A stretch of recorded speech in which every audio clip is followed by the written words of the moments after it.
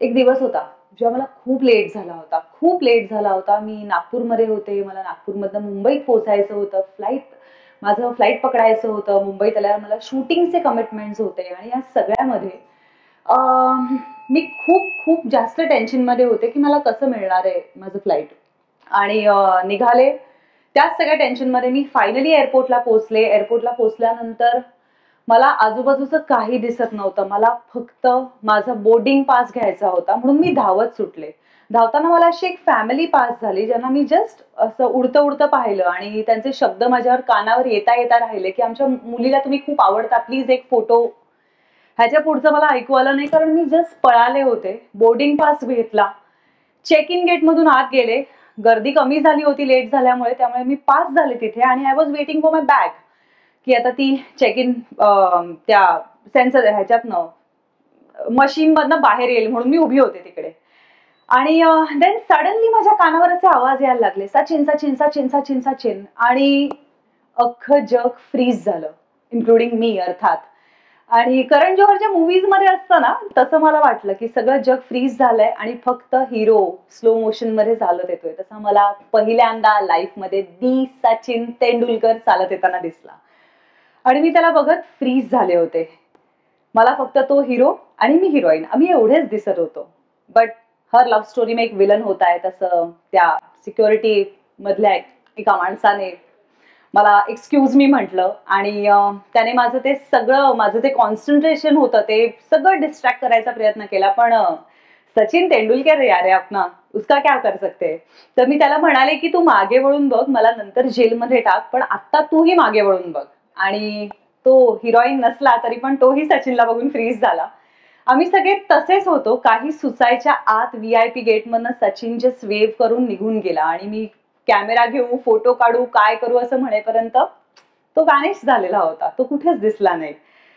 Finally मी माझं त्या बॅगमध्ये एक नेलकटर होतं. ते त्या एअरपोर्टला दान केलं आणि माझा पुढचा प्रवास केला. खूप आनंदात मी फायनली मुंबईमध्ये लँड झाले. आणि लँड झाल्यावर आता सगळं ऑन टाइम चालू होतं. मी खुश होते स्वतःवर. सकाळी निघाल्यापासून जी मी चिडले होते कारण फिफ्टीन मिनिट्स अलार्म स्नूज करत करत करत मी हा लेट करवला होता. त्यासाठी मी खूप चिडले होते स्वतःवर पण आत्ता ह्या मुमेंटला मी खूप आनंदात होते कारण त्या लेट होण्यामुळे कदाचित मला सचिन तेंडुलकरला बघायला मिळालं होतं. आय वॉज सो हॅपी आणि मग फायनली आता पुढे जाऊया आपण. निघूया. बाहेर पडूया आणि शूटिंगला जाऊया असं म्हणताना मला सडनली एक सेम फॅमिली जी नागपूर एअरपोर्टला मला पास झाली होती. एअरपोर्टच्या बाहेर ती फॅमिली दिसली. आणि त्यांना बघितल्यावर मला असं रिअलाईज झालं की हे एअरपोर्टच्या बाहेर भेटले होते. त्यांना माझ्याबरोबर फोटो क्लिक करायचा होता. म्हणजे त्यांना पण ही सेम फ्लाईट पकडायची होती. पण तरीही त्या क्षणी ती फ्लाईट पकडण्यापेक्षा त्यांना कदाचित त्यांच्या मुलीबरोबर माझा फोटो यावा हे खूप इम्पॉर्टंट वाटत होतं. आणि त्यांनी बाकी कसलाही विचार न करता मला थांबवलं होतं.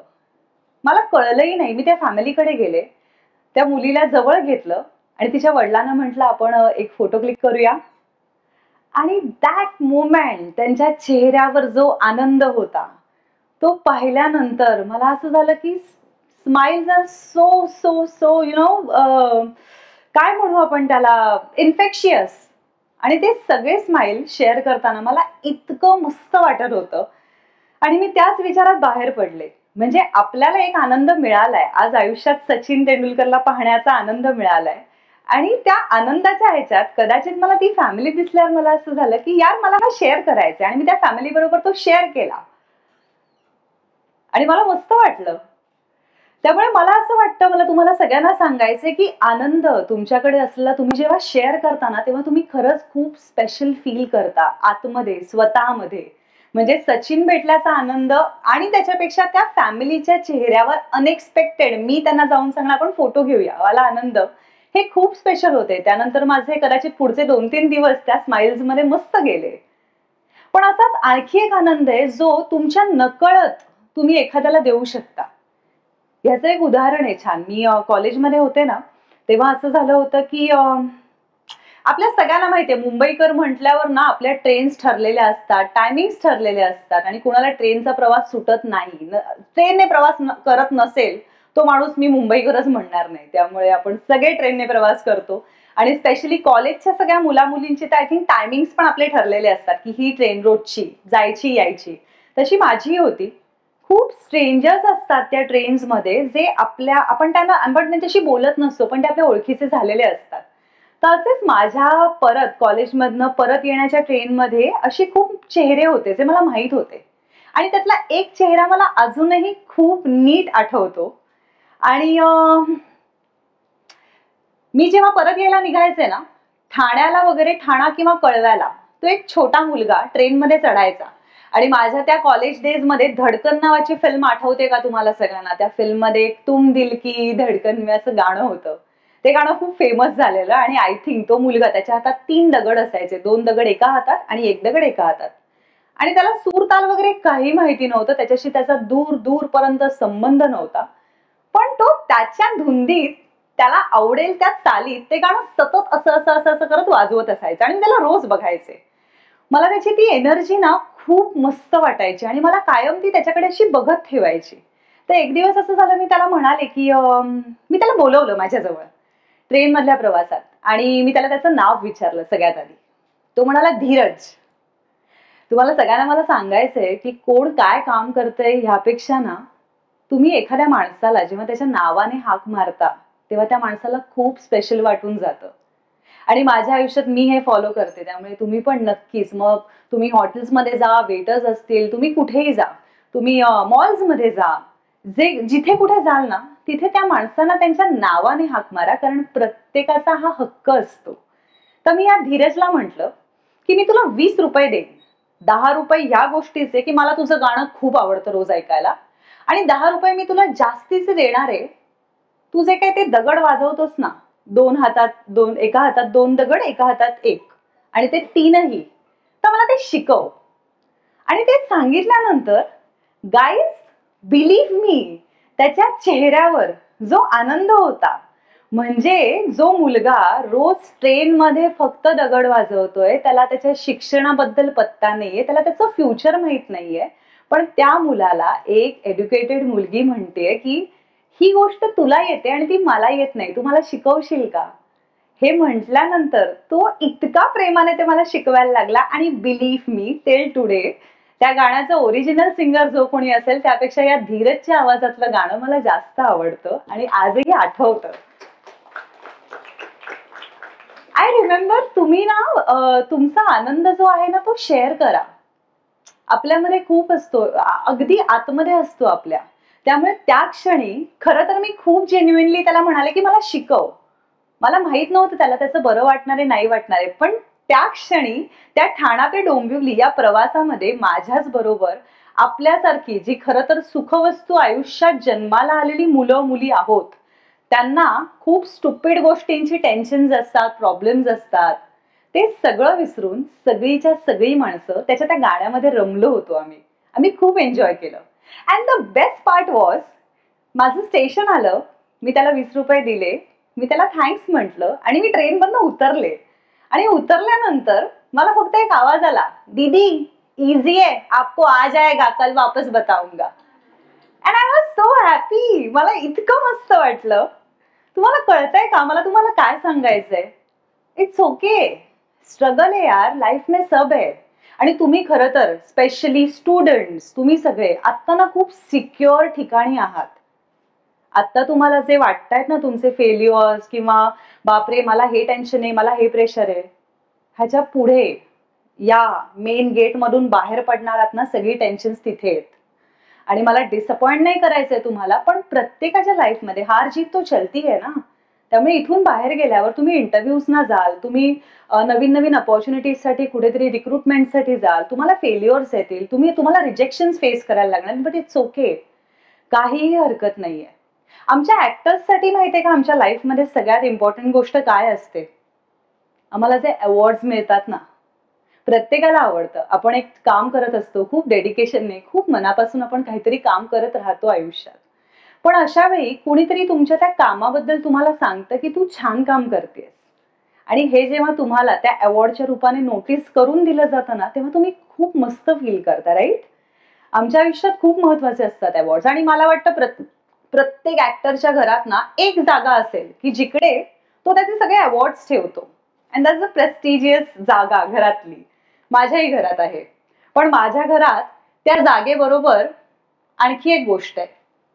माझे सगळे अवॉर्ड्स एका शेल्फमध्ये ठेवलेले आहेत.